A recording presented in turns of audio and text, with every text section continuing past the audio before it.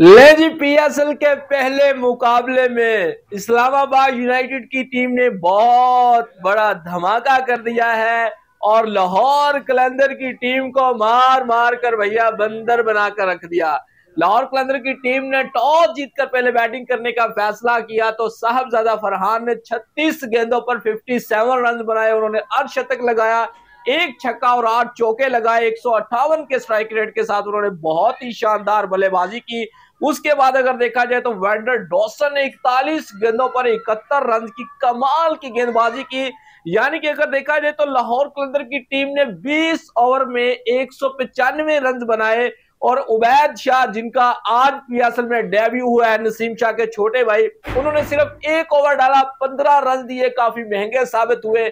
और शदाब खान ने दोबारा जो है उनको गेंदबाजी के लिए नहीं लगाया और नसीम शाह ने आज छह माह के बाद चार ओवर में 36 रन दिए, इंजरी से वापस निकल कर आए हैं और एक सफलता भी हासिल की। और शदाब खान ने आज बड़ी अच्छी गेंदबाजी तो की है भैया। बैटिंग में तो आज भैया उन्होंने कमाल करके रख दिया है।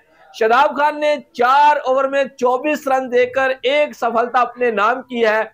अगर हम इस्लामाबाद यूनाइटेड के बल्लेबाजों की बात की जाए तो भैया 20 ओवर में 196 रन का लक्ष्य था इस्लामाबाद यूनाइटेड के सामने।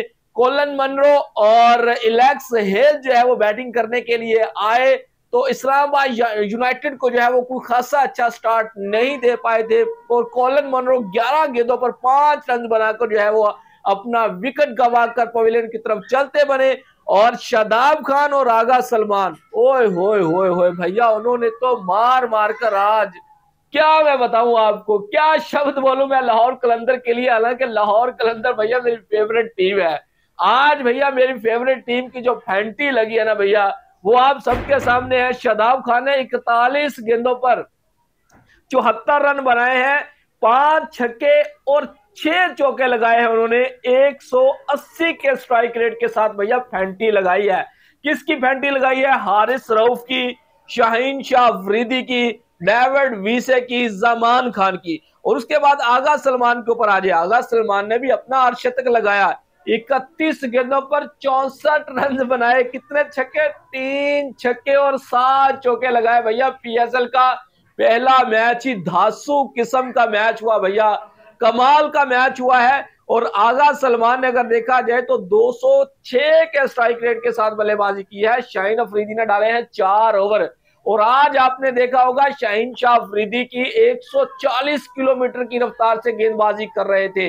142 किलोमीटर की रफ्तार से गेंदबाजी कर रहे थे। वो न्यूजीलैंड के अगेंस्ट खेल रहे थे। जब वो ओडीआई में वर्ल्ड कप में खेल रहे थे तो भैया उन्होंने 130 135 किलोमीटर की रफ्तार से गेंदबाजी की थी। आज समझ में नहीं आ रहा था कि भैया शाहीन शाह अफरीदी के अंदर इतना जोश कहाँ से नज़र आ गया शाहीन शाह अफरीदी में। जमान खान ने तीन ओवर डाले, तैतीस रन दिए, एक सफलता उनके नाम रही।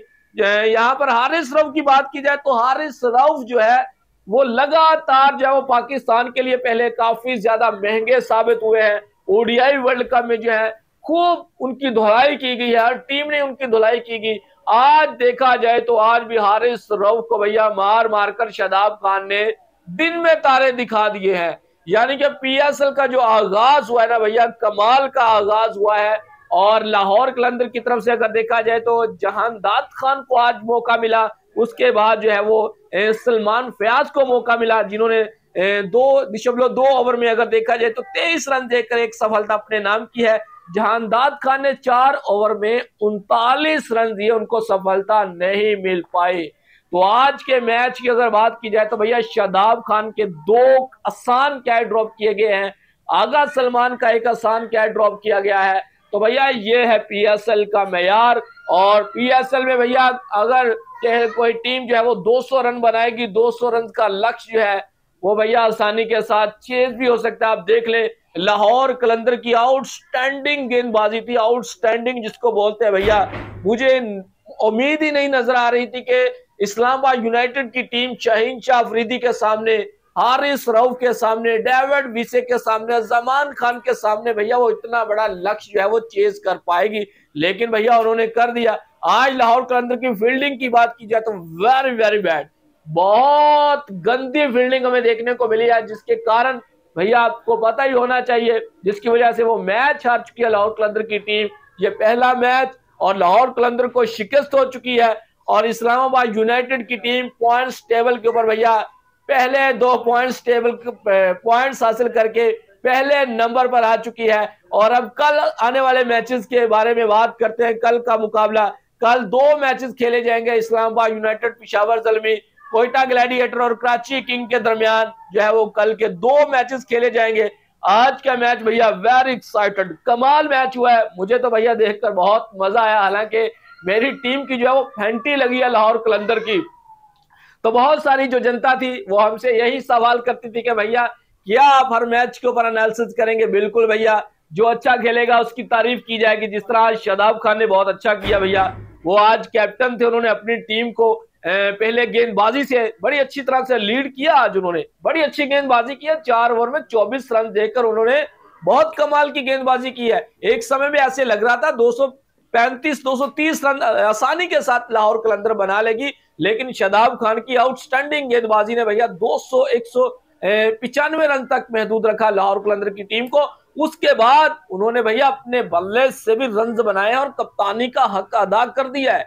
कि भैया असल कप्तान इस्लामाबाद यूनाइटेड का मैं ही हूँ। और इस्लामाबाद यूनाइटेड आपने देखा होगा, हर इवेंट में बड़ा अच्छा परफॉर्म करती है, लेकिन जैसे ही वो नॉकआउट मरहले में जाती है, उसके बाद वो भी चौक कर जाती है, लेकिन इस दफ़ा इस्लामाबाद यूनाइटेड के पास भी एक से बढ़कर एक गेंदबाज मौजूद है। अभी देखा जाए तो आज़म खान जैसे बल्लेबाज उनके पास मिडिल ऑर्डर में मौजूद हैं, और इमाद वसीम जैसे डेंजरस बल्लेबाज मिडिल ऑर्डर में मौजूद है। हैदर अली भी भैया अगर देखा जाए तो इस्लामाबाद यूनाइटेड के ही स्कॉड में है।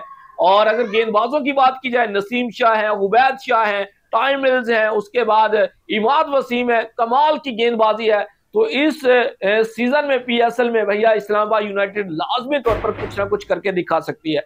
तो ये थी हमारी आज